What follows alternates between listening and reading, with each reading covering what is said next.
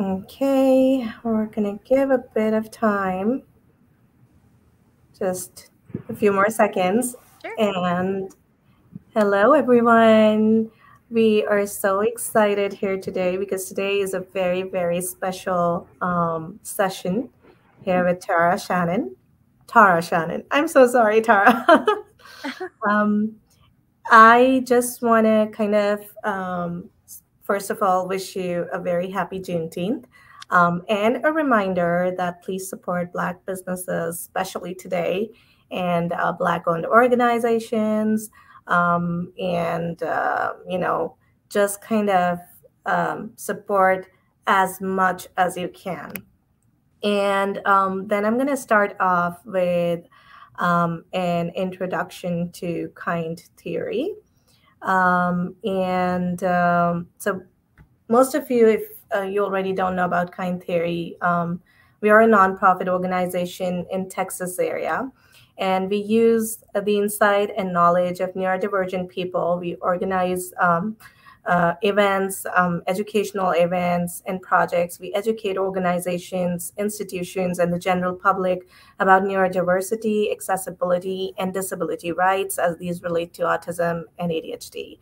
And so, how we started was um, we've been a diverse group of parents, professionals, community members, and friends uh, by, by the knowledge that neurodivergent people deserve better.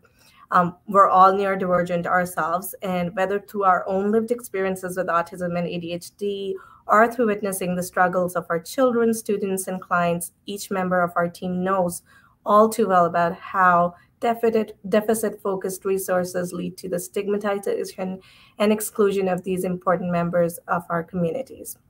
So we thought it's time for a paradigm shift, um, and here comes neurodiversity. So we knew our communities needed resources about autism and ADHD that could foster connection, inclusion, and empowerment for all our neurotypes. So we set out to create them. So this is what we do. Um, and we know that we can make our community a kinder and more welcoming place for all through our lived experiences. Um, as far as Tara is concerned, I don't even think that she needs an intro- introduction.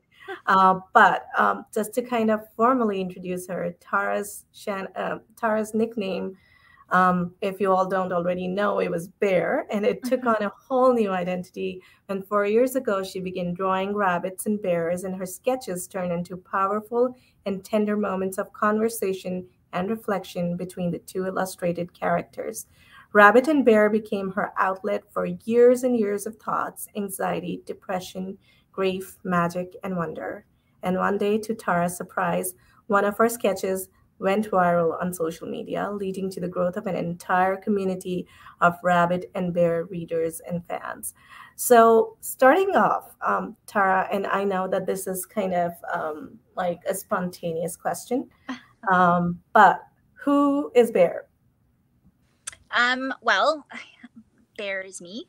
Um, but it's also um, everybody that I, I've kind of met throughout my life. Um, you know, my parents, um, my grandparents, um, they all sort of uh, teachers, um, doctors I've had, therapists.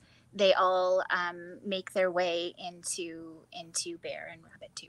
Um, but uh, but yeah, there bear is a is a culmination of of a variety of of people that I've met throughout my life. And um, when I started uh, losing, um, you know, important people from my life, like um, when my you know lost my my dad and then my mom, and then I was found myself uh, kind of on my own dealing with some very big things um, and I didn't have those people to go and talk to, um, that's when that's when uh, Bear and Rabbit um, were there for me. So, yeah.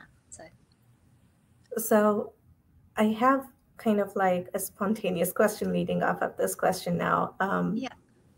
At the time when you started illustrating Bear as a character, did you have an idea about your own neurodivergence? I I had let me see when I started that. yes at that point it was starting to to kind of solidify i've okay. always i've always kind of wondered but okay. yeah yeah so okay so moving on mm-hmm. If you were to describe yourself in your own words in a single sentence what would it be um uh, always wanting to learn and um, strive to better myself, I suppose. Just um, it's maybe not very eloquent, like a rabbit and a bear, but um, just just wanting to to continue learning because I've it's not one sentence, I suppose, but um, in fig- learning about myself, I've I've uh, I've learned better ways to cope in this world kind of on my own and um, and I've become more comfortable with with me and I've, I've found answers to those questions and those things I always wondered about. So um, just learning questioning I think uh, that's the thing about authors um, they I'm sorry hold on that's I have kind of a sore throat today. Oh. Not a good day to have a sore throat. But no. I'm so sorry. You have a drink there? You need a drink of water? I have actually um, herbal green tea oh. to help with that. but yeah, I'm so sorry for this. But yeah, moving on. Um, I know that now, knowing now that you are neurodivergent, um, would you like to share some of your childhood experiences, good or bad? Um, kind of the experiences that, you know, reflect now that you were neurodivergent throughout your life? Mm-hmm. Um, I very much felt like I didn't um, fit in um, at all. And so my like the first memory that I have, um, and it has me wondering now about a variety of things, but the very first sort of memory that I have is um, as a, as I was two, two years old, which some people would be like, you can't remember two years old. Well, I do, um, and I recall my whole family sitting in our living room um, so I have, I have two older sisters, uh, my mom and my dad, um, and they had just recently bought something large, an appliance of some sort or a TV. So that part I don't really remember, but there was a very large box in the um, in the living room, and in my active imagination, which I've always had, um, I imagined that I could jump backwards into this box.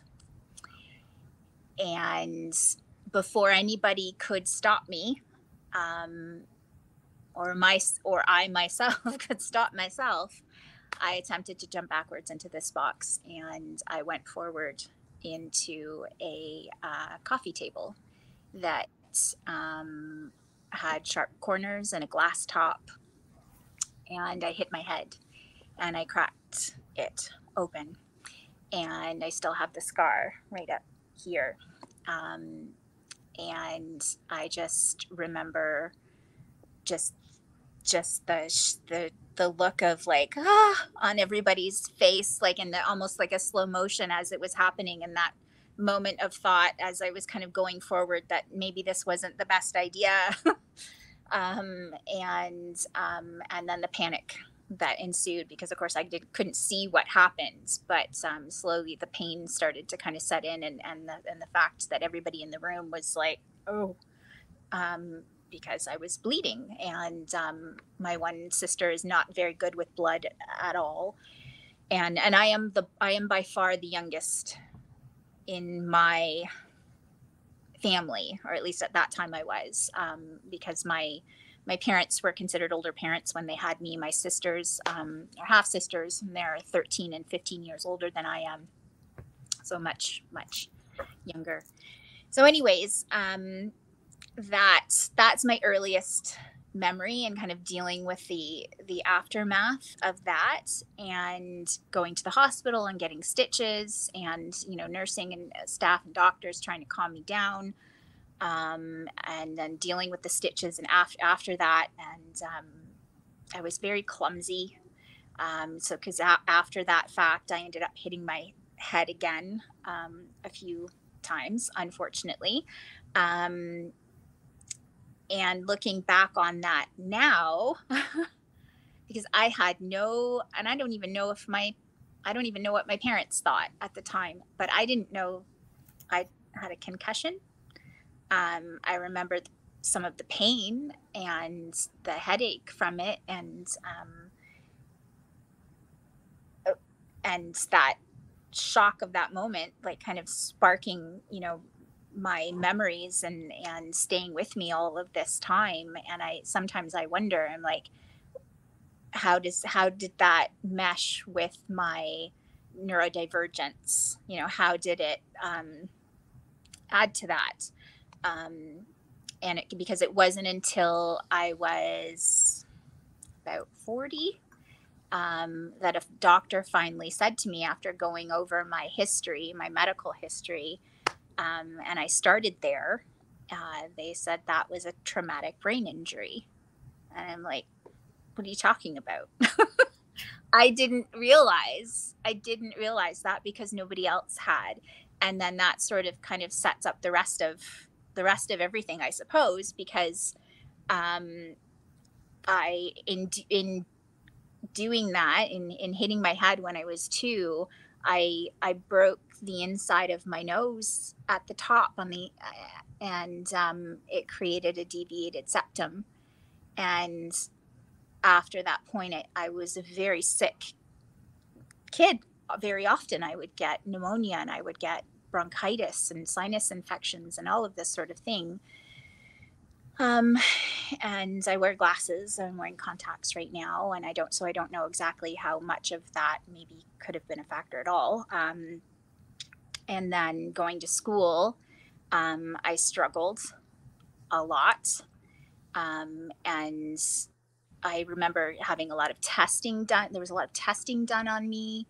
Um, I remember being pulled from class a lot in, in, in the early grades, but ultimately I was I was um, held back in grade one. I was failed, um, and that stuck with me for a very long time because I I was a, in my head I was a failure. I and and then that kind of made me want to um, prove myself and make up for that and over try to overachieve and and um, and it was very awkward. And i have sorry my dog just barked. I have dogs so hopefully they don't.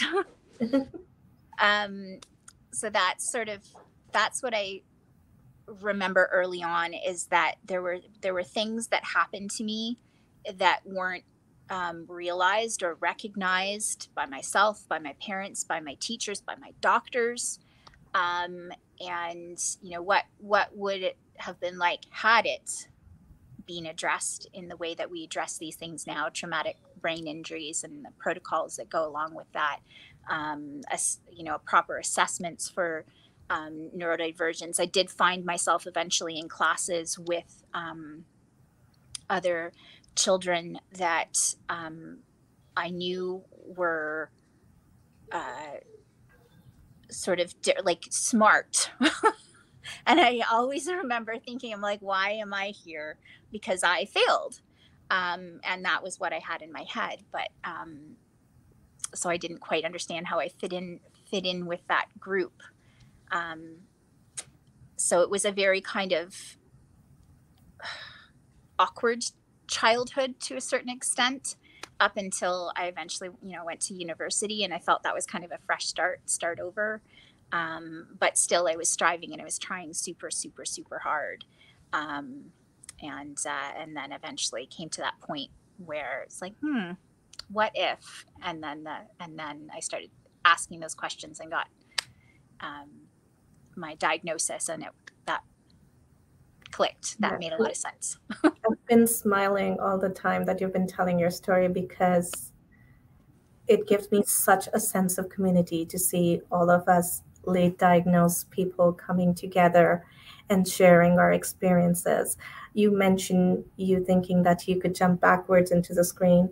I have a memory when I was very young, I'm not sure what age, I was riding a chairlift with my dad, and it was an open chairlift. So he was mm-hmm. like holding me. Yes. And I looked down, and it just, I still remember that feeling like it was just open and you know the sky and everything was so beautiful and I told my dad dad uh, that I want to jump and he looked at me and for a moment he thought that I actually was. And to be honest, I think that if he hadn't stopped me, oh I would have jumped because in my mind, I was, you know, at that point so like, I don't know, there was some sort of a determination in me that I can do it. Yeah. Um, and so I was very bold in that way. And then you mentioned being clumsy and all. And I remember that I you know, for the love of God, I could not catch a ball. I, I, I, was talking to Jaime Heidel, um, the articulate um, autistic. I don't know if you know about her or not, but she's amazing. And I was uh, doing an interview with her, and I told her that you know when when you know my my sisters and my cousins they were very good at sports and all, and I wouldn't be able to look up in the sky or track the ball or you know kind of like track the movement and all of that and she said you know what there's actually a name for that and i was like really and she said well i i, I still have trouble pronouncing it but it's kind of like um, proprioception i think i hope i got it right yeah mm-hmm. So i was like there are so many things uh, but because autism and adhd is so stigmatized and expected to be presented in a certain manner mm-hmm. that I, uh, you know, uh, honestly, even if I at that time I had a clue, I wouldn't have believed that because the the you know the belief about these uh, neurological variants is so stigmatized. Yes. But um, enough about me. We're going to you know, um, but the, you know this this makes me excited. Whenever anybody uh, shares I, I, am like oh my god this happened to well, me it's, too. it's yeah it's a sense of community and it's like oh i'm not alone. I'm not yes, alone in that. Exactly. it's not just me being this like whatever it is i'm doing and um you know i'm not alone. I, that's that's yeah. I so that yes and if you all don't know about autism vish it's run by leah mccabe um it's a wonderful organization as well. Please check them out. Moats plays the mm-hmm. page. Uh, they are amazing too. Check their pages out, y'all. I love our community. I love everyone who's a part of our community. Um, Tara, I wish my mom was here because the amount of times I've told her I think I was born on the wrong planet. Oh. that that all makes sense now. And talking to you, I just feel like you know so excited. but um, you know, um, I, I think we touched on your childhood and um, you know indications of neurodivergence in your childhood. I actually didn't know you were neurodivergent um, even after following your page, and then. I came across, and I was following your page um, for a very long time because I resonated so strongly with Rabbit and Bear. Um, and, uh, you know, I had a feeling, I was like, the author has in some way, but, you know, you can't really ask people. You don't know how much knowledge they have of neurodiversity and how they would, you know, uh, appreciate an unsolicited feedback. But that being said, um, I didn't know at that time. And then I came across a post where you shared your neurodivergence and you also shared your cancer diagnosis. Yeah. Um, so if, if it's not too triggering for you, would you like to share more about that? How did that diagnosis impact you? Were there any um, aspects of your neurodivergence that came into play with your treatment and your diagnosis and the way that you handled everything all together? Mm-hmm. Um, I think it's odd because I mean we live inside our bodies and we we become very familiar you know with things and um but it I didn't I didn't feel necessary it was normal I guess I guess is that things became normal to me that maybe should not have been normalized um, because there just wasn't an, an awareness in, in, in anyone um, so I, I talked about that, you know, the the deviated septum and that I had from the the fall I had when I was two. Um, that was finally addressed when I was around uh, 25, I suppose, and um, that made a world of difference in um, my health. I wasn't getting sick anymore. Um, you know, every year with with um, you know pneumonia or, or bronchitis, and it it just sort of that sort of set something in me off as well. It was like, okay, so if this this has been causing all of these problems, what else could possibly be going on with me that has been missed? Um, because doctors were treating me for everything but what was actually wrong. Um, and I started to notice um, from you know my my about 25 um, onward that I was being triggered by eating certain foods, like heavy f- foods, um, and that sometimes I felt very tired. Um, other times I felt extremely energetic, um, and I could I could lose weight easily sometimes. Other times not not so much. Um, I would I would gain weight, and I I would wonder why.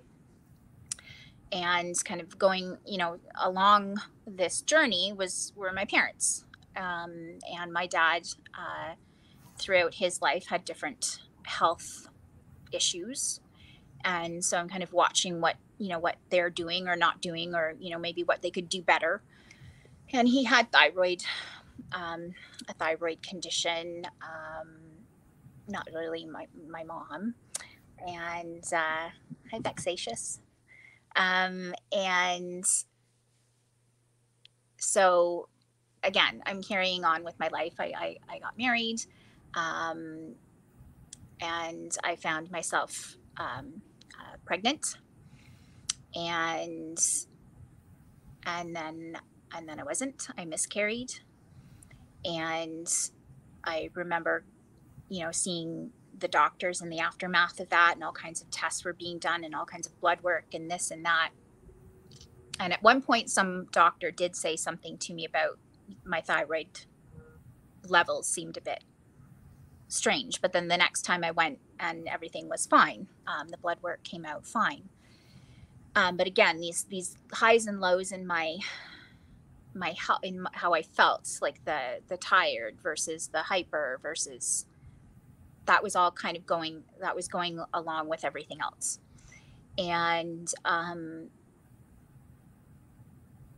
in 2011, my dad um, passed away. So I, I had I had the miscarriage in, in 2009. Um, and that sort of I, I pinpoint as around the time and I was married in 2007. So maybe around that time there was some stress entering my life. Um, so from about 2009 until 2013, it was a roller coaster of emotions um, because following my dad's passing, um, I found out that my mother's my mother had cancer. My mother had um, Hodgkin's lymphoma, but she went into remission. Um, but following my dad's passing, a week, just a week after, we found out that her cancer had returned. And not long after that, my family doctor kind of tilted her head like this and looking at me in, in my yearly physical and said, Something looks wrong with your thyroid. It looks enlarged. So that at that point, they could actually see it, even though it was still very contained. But my blood work wasn't showing anything. Um, so then I was sent to a specialist. And within that year, um, I was told that I needed or I should have surgery to um, remove my thyroid. And I had something called Hashimoto's thyroiditis. And there's a couple of it's an autoimmune disease. There's a, a, couple of autoimmune diseases that can affect a thyroid. There's graves disease. There's hashimoto's. And hashimoto's um, it's your ba- your body is attacking um, itself that and my thyroid which is why they couldn't see it was going back and forth between being hypothyroid and hyperthyroid. And it went on this this path until finally it kind of run, ran itself out and it and it killed my thyroid. And unfortunately by the time they found it it was it was it was too late. Um, and so I agreed to have the surgery in 2012 to remove um, to remove my thyroid. And at this point, there's they were still saying it's not cancer. Um, they'd done all kinds of biopsies and scans and ultrasounds and everything, blood work, and everything came back that um, it wasn't cancer. Um, following the removal of my thyroid, um, it, it was cancer. It was I was told it was loaded with with cancer. Thankfully, it hadn't spread.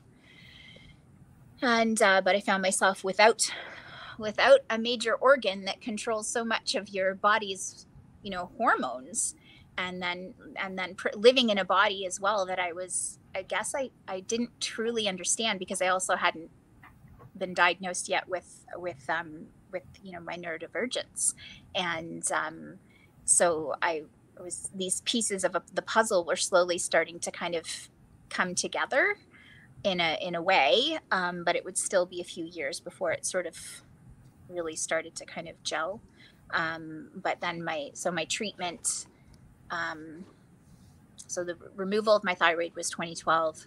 The treatment, which was radio, uh, I had to swallow radioactive iodine.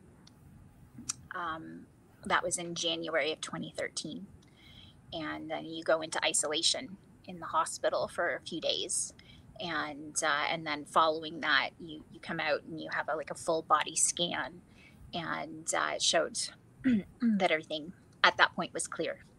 Um, but i came out as well to my mom being um, being in her last months of life.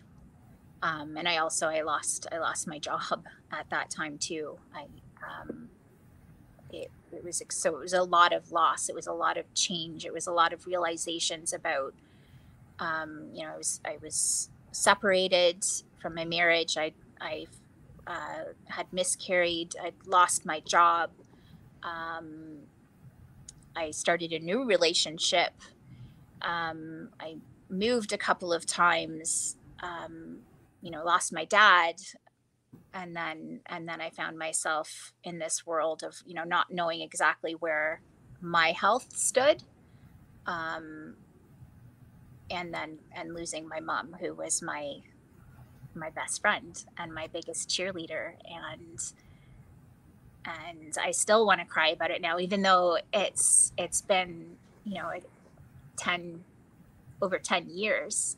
It was it was a lot a lot to process and I I don't I didn't give myself time to do that. I didn't there was part of me that didn't didn't want to. I just wanted to keep running, keep going. Um instead of sitting there and thinking about everything that was so changed in such a, a short amount of time and it, it was extremely extremely overwhelming um, and and I didn't have I didn't have my my my sisters and I um, were not in a good place. Um, relationship wise, following the death of our parents, we didn't see to eye to eye on certain things. So um, I found myself without them to to lean on. Um, so where where I thought I would have my family, I didn't. Um, but I did have a new partner who was very supportive. I, I do have very close friends. Um, I did find, you know, I did find other f- family and and and um, uh, places and, and ways to um, to get some support, um, including therapy um, from very early on. So uh, in in my late high school years, I I found that I was really struggling, and um, at that point, they seemed to catch up with me um, and offered social workers to help me. And um, from that point on, I would I would seek out therapy whenever I felt I couldn't handle things on my own. Um, and I found that extremely beneficial. And I continue to, to go to therapy even now whenever I, I think it's like, okay, I think it's time to go and talk about this or that. Um, so, um, yeah, I, I think all along, like the neurodivergent, like my autism, my ADHD, it was there, but I wasn't pulling it in as a part of that that puzzle just yet and uh, but I was wondering, I'm like, what's going on? And you know, you know, I'm yeah, it was just it was very it was very difficult and very overwhelming, but and it, and it's almost it was fast. it seemed it was only five years and all of this happened. Um, but uh, yeah, I, I feel like I'm in a better, much better place now, um, and the and I wish that some of those things hadn't happened. I, I wish that I could still have some of those people in my life. Um, but I'm glad that I've kept kind of asking the questions and diving deeper into certain areas to kind of put the pieces of myself back t- together because I don't know if I ever really had them from that, the start. that makes um, you know, number one, thank you for being so raw and real with us. It it it must have been triggering for you. Um, I appreciate you sharing all of that. Um, you know, it is important to share stuff like this, in my opinion, for two reasons. Number one, a lot of us who have been undiagnosed since our childhood, we don't realize that there are different aspects of neurodivergence that you know play a role in our health for example interoception we can't always tell what you know our body needs yeah. um, and therefore we deprive our body of that um, and pain sensitivity for some people something might not be that painful but for us it might be excruciating mm-hmm. and you know for some people something might be excruciating and for us that may be normal and that kind of like all of these certain aspects um, kind of makes the doctor miss a lot of things. Um, yeah. Another one of our similarities, Tara, I also have Hashimoto's. Um, and I, mm-hmm. my thyroid, the right part is slightly enlarged, not a lot, but I know when you say, you know, feeling energetic and then back yes. to, you know, I can relate to all of that. Yeah. Um, it's, uh, you know, you've been through so much and rabbit and bear shows that and it shows that very simply and that's the beauty of it because when you read it every person can live through their own lived experience um, i um, rofe um, at that time when you said good morning um, uh, Tara was sharing her story with us, so I did not say good morning to you, but good morning. Uh, we're so glad to have you here. Um, and uh, Tara Vexatious um, has a comment for you. Uh, can you see the mm-hmm. comments on the screen? Um, this is, I can relate to that. Is there? Yeah. Okay. Yeah. All right. Um, so let's move on. And if anybody's wondering why do I take pauses, I do have a script with me. I um I forget stuff and then I get confused. So I thought um, I would not make things awkward and just keep a script with me. so um, I think that pretty much answers the next question How did Rabbit and Bear come into existence, right? Uh, because I, I, feel like all of this, all these losses, it, it, was kind of like your um, your outlet. That's that's what it makes me feel.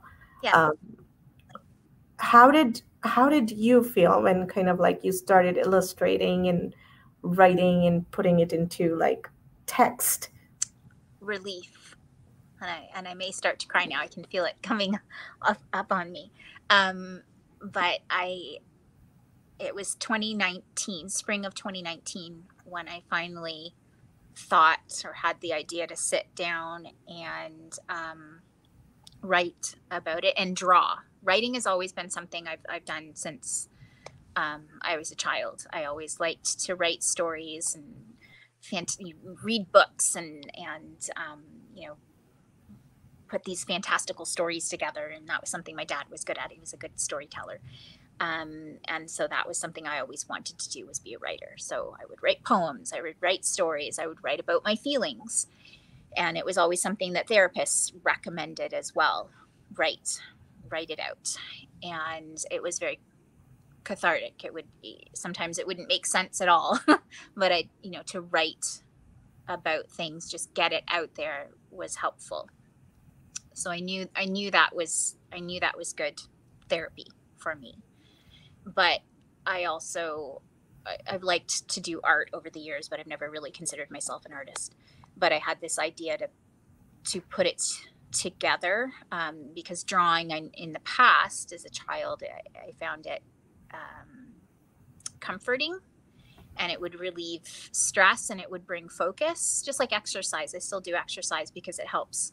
You know, I go for a run and it, it brings focus to my my brain, and and I certainly was dealing with a lot of anxiety um, and and depression as well, but anxiety i felt you know this this buildup inside of me. And um, leading up to that moment before i sat down um, i hadn't been working. So when i lost the job back in 2012 be- which was because of my diagnosis i was missing a lot of work um, and because of my mom as well um, i really struggled to get back to work it was triggering um, I just didn't know how to fit in. So uh, attempting to go back to work and being around people who weren't understanding maybe me, um, and I wasn't really understanding me either. I guess um, I was I was really struggling, but it was becoming apparent in in our my relationship, my home, that I needed I needed to do something. I was going to have to go back to work because we needed the, the money. And in that very moment before I sat down, I was like, okay, I'm going to have to do something, but I don't need to do it right now. I can start slowly. I can send out resumes, do this or that. But in this this very moment, I'm going to sit down and I'm going to draw. And for whatever reason, I had this idea that I could draw rabbits um, and I even had this kind of flash of an idea of what it was I wanted it to say. And um, and so that's that's what I did. I, I sat down at my dining room table. I looked at photographs of rabbits on Pinterest and I had a sketch paper. Or actually, I didn't even have sketch paper at that moment. I had notebook paper, the lines, and I had a pen. And I just started I just started drawing. And um, by the end of the afternoon, by the time my, my partner at the time by he came home, I had three of these rabbit drawings done. And he's like, You did that? he's like, These are great. And I was like, Really? And it was kind of a boost to my to my um my self-esteem. And i'm like okay i'll share this. At that point i was in a little i was in a writing group on online and so i shared it and they were like this is this is lovely. We love this. And so then I, I started to make it part of my my daily routine. I would do at least one rabbit and have it say something. And um, maybe i'd do more than that but it became part of my routine and it was building me up and it was an outlet. So it was calming me down it was bringing focus and it was also letting me process these this these years like a lifetime's worth of big feelings and emotions that i had over these losses. Um, and the more i could simplify it those thoughts so that they would just you know end up in like a line or two of dialogue between rabbit and at the start it, rabbit talked to different animals and insects and butterflies and things like that. Um, the more i could kind of boil that down into one image and short amount of dialogue um, the better it made me feel that and and kind of brought that understanding you know full circle in me um, and then I'd share it. And um, initially, it wasn't kind of hitting a mark. Like there were people that liked it, my friends, my family, the the kind of you know standard, um, like oh that's lovely, we like this. Um, but it wasn't until March of 2020 that I thought to start sharing, or the the new year, January, February of 2020, that I started sharing rabbit. Some of my rabbit and bears again, um, because I kind of slowed down with it because it didn't seem like the interest was there um, except for me. I was doing them, but now I still do them for me. Um, but in as we know, in in 2020, some things changed in our world, and uh, there seemed to be a lot of people who were experiencing anxiety um, and one particular uh, drawing that I and dialogue I did between Rabbit and Bear, where where Rabbit said, um, "I'm afraid," um, that went viral, and and yeah, that that was and me that draw that image that went viral. That was me trying to tell my partner what it was that I needed from him when I was feeling scared or afraid. He wanted to fix things. He wanted to do something tangible that would make me feel better. So um, but there wasn't. There was there was nothing. It, it, was it was me. I needed to work through that but to have him there or any of my friends like you know it's neat it's nice you know just be here with me hold this space.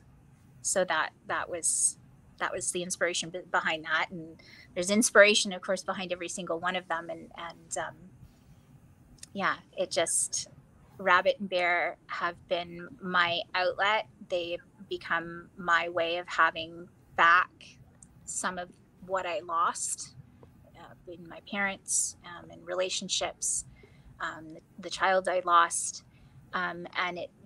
But it's me also at the core of it, and as as you know as painful as it might be in certain aspects, it's also beautiful, Tara. Mm-hmm. You're beautiful inside and out. Um, and one of the things that you've talked about, which is really important for our community to hear, and which you did probably unconsciously, um, when you took a pause and you said, Well, you know, I don't need to do this right away. I will pause and I will draw.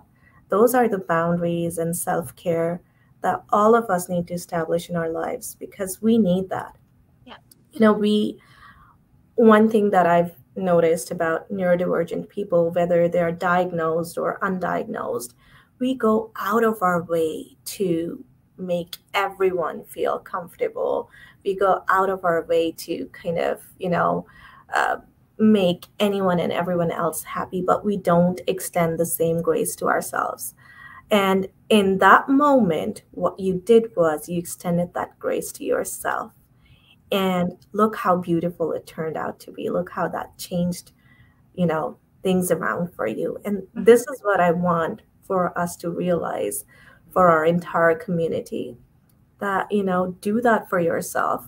The effort that you put into others, make that same effort for yourself. And you've shown us, you've shown us through your writings and through the power of your words, what a major difference it can make.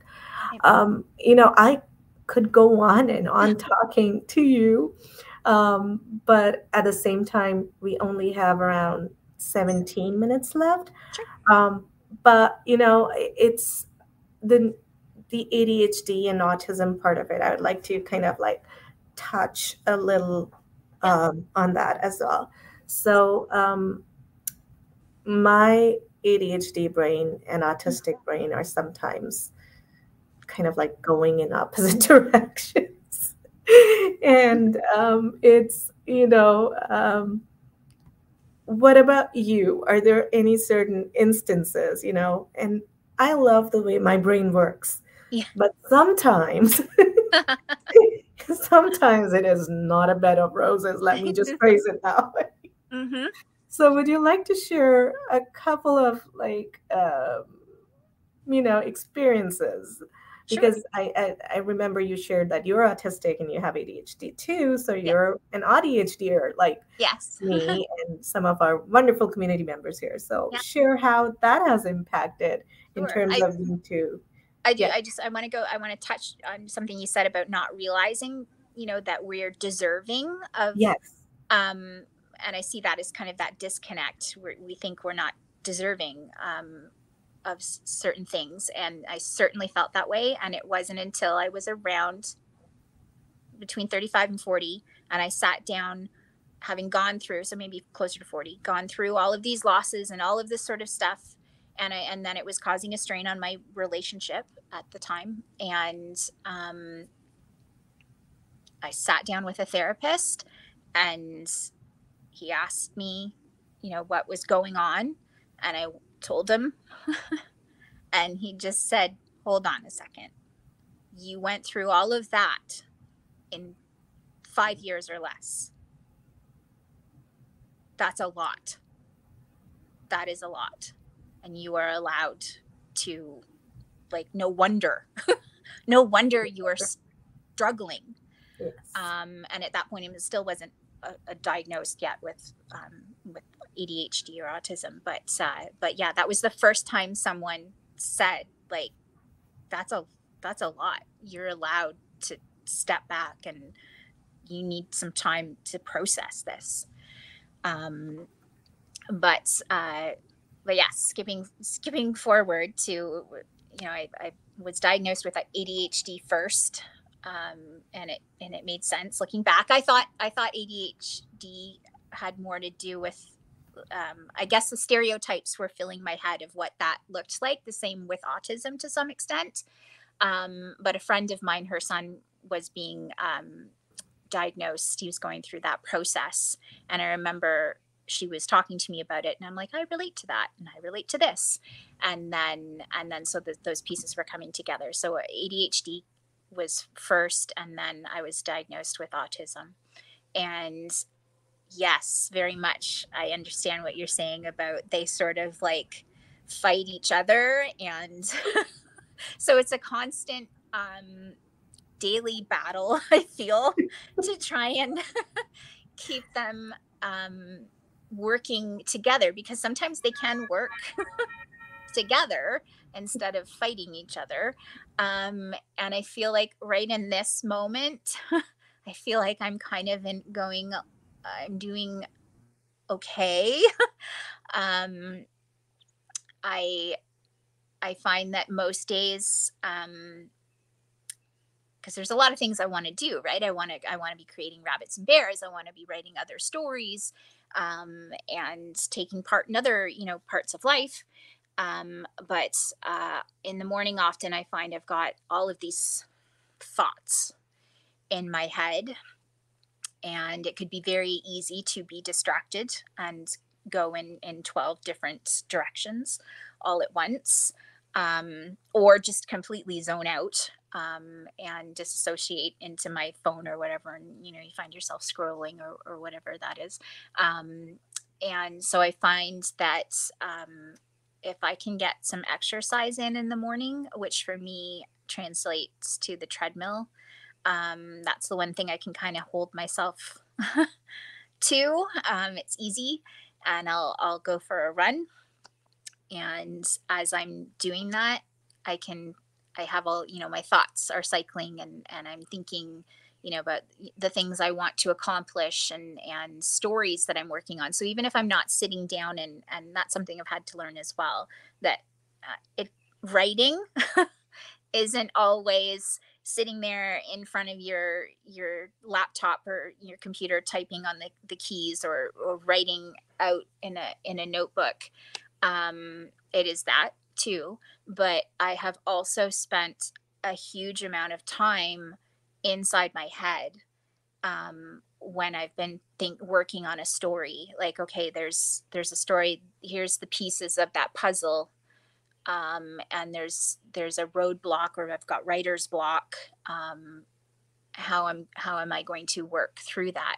So I sometimes think a lot about that when I'm on when I'm running. I just sort of I have that moment where I can just zone out. My body's getting tired. My my mind is working and and focusing and zeroing in on what it is that I actually you know want to do when I get off the treadmill. Um, I, I you know I do have I do have thoughts about like long term goals, but to get to those long term goals, it's kind of chipping away at it bit by bit instead of it seeming like this huge insurmountable thing. It's like, oh my gosh, how am I ever going to get to this point of having a novel or a or a book? Um, I just try and think in smaller smaller steps, step by step. And um, so yeah, if I if I can if I can hold myself to that um, kind of process, which I have been successfully for the last month. um, I I'll work out and then I'll I'll go to work on on you know writing or creating new rabbit and bear or um, it's part of my routine and um, I like that routine. Obviously, things come along that can throw it off course, which sometimes that part of my brain isn't very happy about whatsoever. Um, but I, I do know that that period of time in my life, maybe my entire life, but it really sort of zoomed in on it when I was going through all of those losses and things.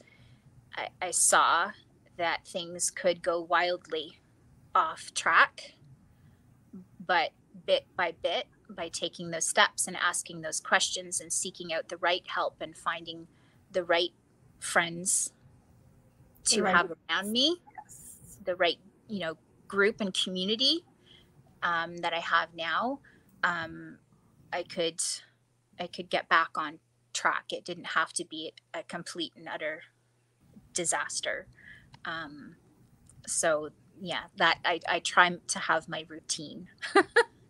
And I, would like to share something that I really, really struggle with here. Um, you know, for me, task initiation and continuing with a task is like a huge part of my ADHD that comes into play. And my autistic self, I need routine in order to be able to do that, right? Yeah. And so um, before I got, uh, you know, um, on the ADHD meds, I felt like I was sinking mm-hmm. because I would just do things that are very simple for everyone around. Um, and I'm sure most of you um, who are my tribe now are going to understand that that things that are very simple for people around me, like doing the dishes, regular executive function stuff, getting the kids ready, getting their lunches ready, getting them to school. I need breaks in between every little thing. Rewards. And yes. exactly. And I I can't like no matter how much I want to or I need my brain to, it doesn't work the way that, you know, a lot of people around me like they do. For them, just getting the school uh, the kids to school and everything, it's like this for me, I feel a sense of accomplishment when I do that. You know, like yeah. I did it. Like I yeah. actually give myself a pat on the back that I yeah. did it because it's a huge accomplishment for me. So now what I've started doing is that, you know, I have a, this little, and I'm just sharing that because if you guys have somewhat of a shared, you know, challenge with me here, I, I, I got myself a little dice and it has all these little tasks mm-hmm. mentioned mm-hmm. doing laundry, doing dishes and stuff like that. So I play a little game with me to trick my brain.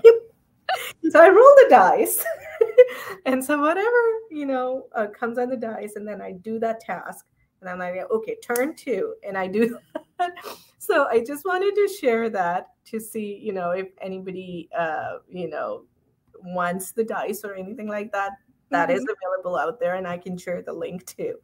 Um, but yeah, um, I think Tara, we're, um, I respect your time, and I already, you've done us such a huge favor um, because I'm we're all all our team at Kind Theory are huge fans. Oh, um, so we we weren't really expecting this, and it oh. happened. We're very grateful for you. Oh. Uh, but that being said, Moat says that uh, they cheat the dice game someday. So now you've given me an idea. So I do lists. I write lists, but then sometimes if I do something and it's not on the list, I write it on there and then I cross it out. That's my way of cheating the lists. yeah. Thank you, Vex, for sharing that. And um, thank you, Rofe. I mean, you know, when when I started Kind Theory, at that time, um, my therapist had recommended because my son was already uh, diagnosed autistic, and my therapist was like, she was trying to convince me to get um, an evaluation done.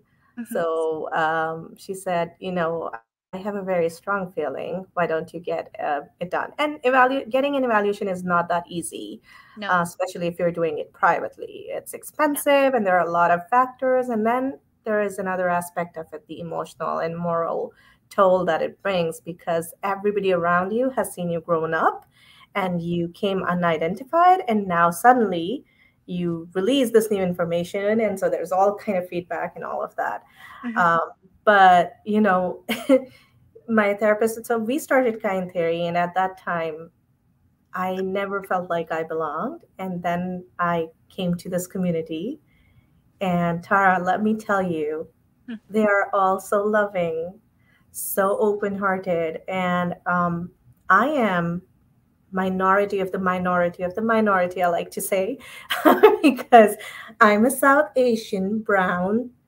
autistic, and ADHD women who wears a hijab. I'm a Muslim. And they welcomed me with open arms. There's no judgment mm-hmm. we respect each other we are kind to each other we listen to each other and we relate to each other so i found my tribe through kind theory and i just you know this is kind of like my passion now yes and so just one last question leading from all that i shared with you yes what are your plans for going into neurodiversity advocacy and getting involved with organizations like ours, if any? if any. Um, I mean, I'm I'm I'm open. I'm open to it all. Ever uh, ever since I self-diagnosed um, at first, and I started seeking um, community. Um, I've I've been open to talking about it and learning um, and being part of different um, events. Um, and after following my official diagnosis, I, I back in 2020, 2021, um, I've talked a, couple of times with different organizations, and I'm certainly open to that. And I'm open to um, to that work through Rabbit and Bear as well, um, because part of it I see as um, there's that stereotype and there's the the misinformation out there and i I, I kind of there is part of me that likes it when people are like oh i didn't realize you were. I'm like well that's because it's not just this one thing. It can be it's it's it's and i love that illustration that goes around that you know it's not a linear um spectrum it's it's it's round and it can be so many different things and different things depending on the the day or the time of day like it it, it can fluctuate um but i like kind of breaking down that um those stereotypes and and being yeah see see me see us. Yes. And i think you're already doing that because a lot of people a lot of neuro um, divergent people when they read your story, even without you telling us that you're neurodivergent, yeah. we can already tell. so um, I think um, to wrap it all up, um, if anyone has any question for Tara, please do share. Um, that's a yes. That's yeah, Rex. You actually nailed it by saying that. That's a clinical diagnosis. For me, it played an important role with imposter syndrome too, because yeah. I had started doubting uh, what I was feeling or going through. Yes. So yeah, that that's another Very- aspect as well. very validating and yeah for sp- having spent so many years like not on the right path and being being labeled all of the wrong things because Yes. that gets on my nerves as well because i've heard that quite a bit and i think maybe we all have it's like oh i don't like labels. I'm like you know what? I really dislike labels too the wrong ones. The wrong ones. I'm really gonna choose my own labels. yeah exactly. They can be very validating and helpful. Um, so yeah and, and and but again it is it is very difficult for some to access assessment and so self self assessment i do see as a valid Yes. Very valid. We we do too. Yeah. I know, um, Aisha. Um, I think we had some uh, pieces from Rabbit and Bear that we wanted to kind of wrap this whole session up with. Um, Aisha, are you? I know you've been getting internet issues. Um, if you're online right now, um, could you say something so we know that you're here? Okay, I think she's having internet issues. Uh, I'm here. Oh, you're I'm here. here. Okay. Do you have uh, the piece that you wanted um, to share? Um, just give me a second. I have saved it. Just give me one minute. Okay. All right. I am going to share mine, and uh, because it has my favorite word in it. Um, so, kindness, love, and acceptance, said Bear. That's what's it. That's what it's all about. That's all, asked Rabbit. That's everything, said Bear. And that really is everything. It is everything. it is everything. I mean, it. You perfectly said it. Nothing goes beyond that when you mm-hmm. are at the level where you can extend kindness and acceptance and love to someone. Yeah. It's going to be, you know, if an ideal world existed, that what it would look. That's what it would Yeah. look like. Yeah. So yeah, that was my favorite. Uh, Is there Um, any? Yes, Aisha. Um, I have mine. I saved it. I think it's one of the first ones that I actually read, Uh-huh. and that is one of the reasons why I said I want to read the book. oh so, so it's like it goes like, "Am I broken?" asked Rabbit. No, said Bear. You're healing, and healing can be messy and it takes time. Sometimes it might feel like you're broken, but that's just a rough edge being soothed. As it grows and fits into a new place, soon Mhm. you'll be stronger than you were before. And I just want to tell you how, just like it was making you emotional while you were talking about Rabbit and Bear, it just makes me really emotional as well whenever I'm, I read these quotes and you know excerpts from it. Uh. It's just, it just resonates so well with me. that one that one still that one actually i, I updated um, a little while ago and there was some controversy over that one. The I, i'm am i broken? Um, because at the end I, I had this i about being stronger than i was before. And um, and i redid it and i took that last part out about being stronger um, because now I'm not gonna it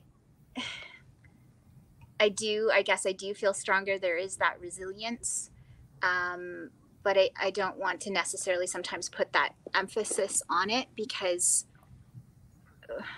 we we do things sometimes because you know we have to we have to like what else are we going to do? But if we could have it another way um would we do it that way? And of course of course we wouldn't. Um, i would give back some of that strength um, to have some things back in my in my life. Um, but most definitely yeah that that's that soothing of those pieces and fitting them back in into place and and rebuilding um, yeah that one's still really close to my to my heart and um, the the one that the uh, the kindness and acceptance. I just did that one this week, and um, I'm like, why didn't I do this one before? like that's what it is. That is what it's all about. Um, that's what we all those are things that we all want so like yes there are other things there are many other things that you know can go into making you know a life um, but at the core of it i do yeah we want love. We want acceptance. Um, we want you know kindness and and to give it in return. Like that's that's huge. And you'd think that these basic things will just already be there right? You you You think would- that the you would yeah, think you would hope. You would hope yeah.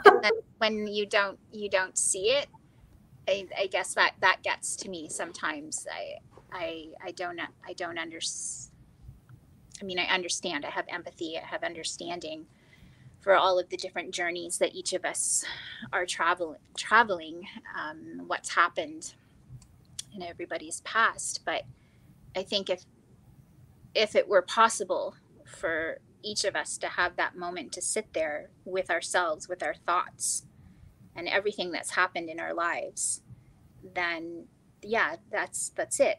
We, we want that. We want love. We want love for ourselves. We want to give love. We want kindness for ourselves. We want to hopefully be kind to others. We want acceptance for ourselves. And wouldn't it be lovely if we could grant that to to everyone else? Because we're all just here trying.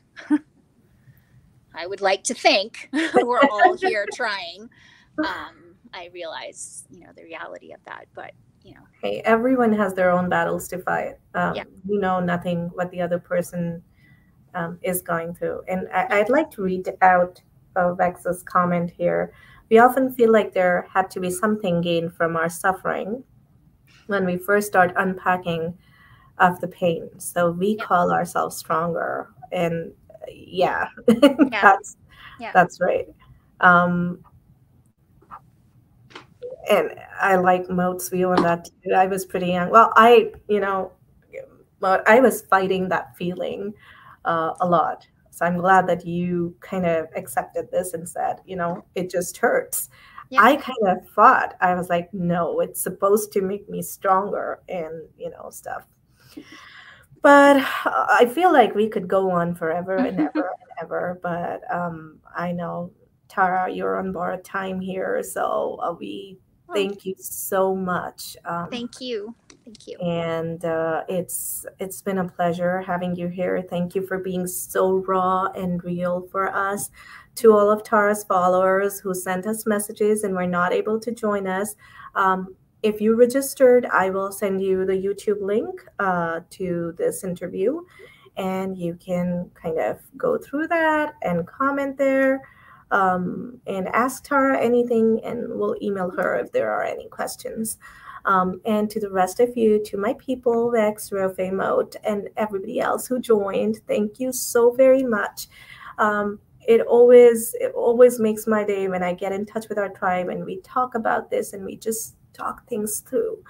Tara, any last parting advice? oh my goodness um i can't think of anything It's okay. I don't want to. Let's just. Uh, so, my friend Rofe here, um, we have another friend, Chris Bonello, who's an autistic author too. Mhm. Um, he runs the page Autistic Not Weird. I don't know if you know about him. He wrote a book, and uh, every time we have a session with him, Mhm. he kind of has this slogan, and we end it at that. So I think we should use that slogan united by our differences. So i like that yes yeah, so let's let's do that. Let's just say united by our differences. Yay, Rofe. Yes. yes. All right. Thank you so much, everyone. We're gonna end the broadcast now. thank you Um, hope to see you all very soon again. Take care. Bye bye.